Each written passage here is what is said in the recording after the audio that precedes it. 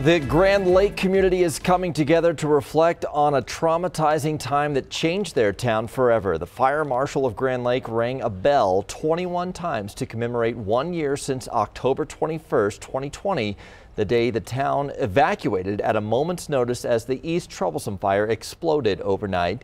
And tomorrow, the Grand Lake community will gather once again to remember the East Troublesome Fire and thank their first responders at a community lunch.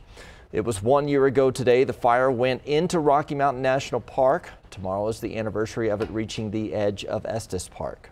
Saturday is a more casual celebration of us coming back home and returning to Grand Lake.